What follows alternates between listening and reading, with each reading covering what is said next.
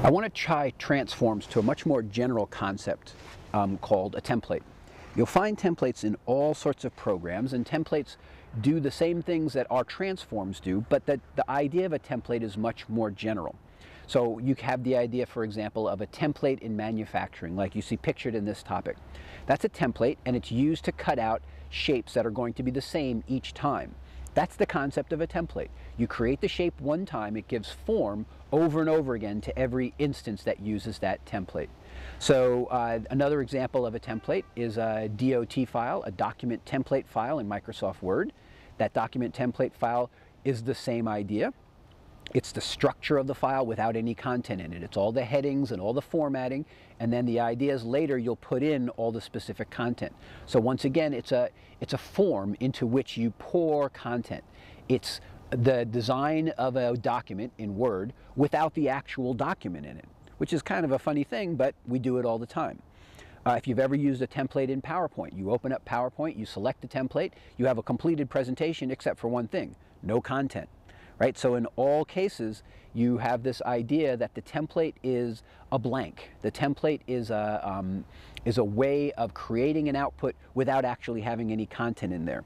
Now, why do we use templates? Well, obviously they standardize the design, right? They give us the same design. If you use a PowerPoint template, all your slideshows will look exactly the same, except they'll all have different content. They standardize that design. They make that design reusable so that I can have the same design over and over again. If I'm using a web page template, which we will be using, um, I'll have the same look and feel of the template regardless of the content that's poured in. It's very, very leverageable. It means that you create the design once and you can apply that design many, many times. You can be sure that the design of similar items will be similar and you can also reuse the same design across different items. So I might have a design for layout that applies not only to movies, but also to actors and also maybe to theater plays. And I can use that design over and over again. It's very leverageable. It's, it's very, um, it's very useful to us to make sure that um, our design is created once and the design is separate from the content. So as I change content, I don't have to mess with the design. In old style websites, if you change the content, you've changed the design. If you change the design, you have to mess with the content. In the idea of templates, we separate the design and the content and they become two different things. Design over here, content over here, coming back together to create a page. Okay, so finally, what I want to say to you is that templates generally speaking, are programs.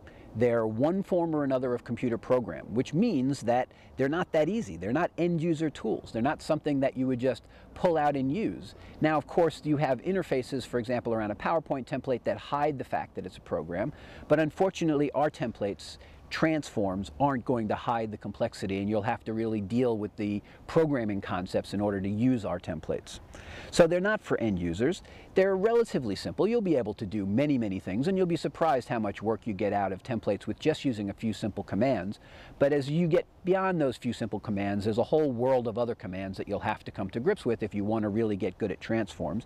And then finally, there's a point at which you have to transcend the transforms and use actual regular uh, run-of-the-mill standard kind of programming, C Sharp or VB or Java or something like that, to go beyond the capabilities of the transforms. Because the programming that the transforms use isn't very good programming, unfortunately.